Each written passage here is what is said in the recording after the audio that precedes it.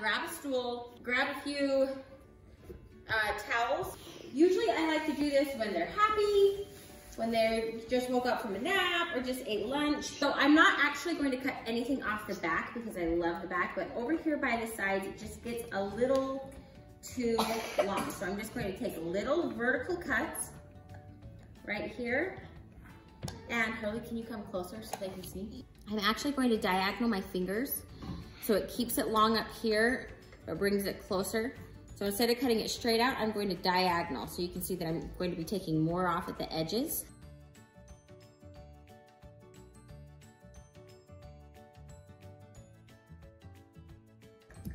Where's your sucker?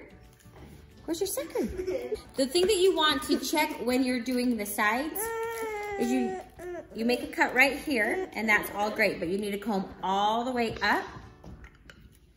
So you might need to do another section up and see how there's that little ridge that I missed? Then you cut that again. So it's just follow the line until the hair runs out.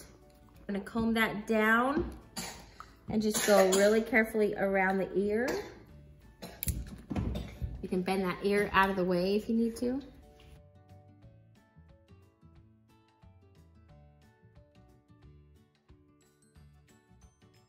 There we go, yeah. sucker in both hands. Good job. We got the older kids, entertaining. You don't want anything to do with me anymore?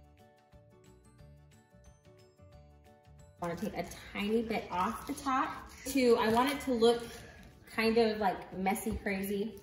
And you'll learn this in my tutorials, but I'm going to just cut big V's. And it's not going to be a perfect cut. This will just add texture. Angle cut right into the top of the hair when you create that middle mohawk section. Okay. okay, go get a little toy form, okay? So big V's all the way back. So this is basically my middle mohawk section, and then I'm going to comb it to one side and match everything to that.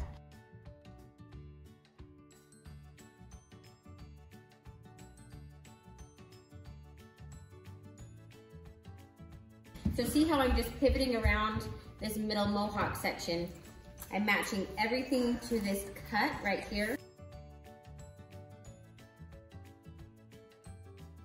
You wanna comb everything forward and you wanna make sure that there aren't any straggler ends. There you go, look how cute he's gonna look for family pictures. No. There go, buddy. Oh, you're sticky and you're hairy and you're ready for a bath.